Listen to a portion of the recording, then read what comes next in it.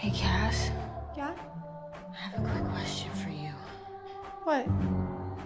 How long have you been fucking Nate Jacobs? Uh, like a month ago. Uh,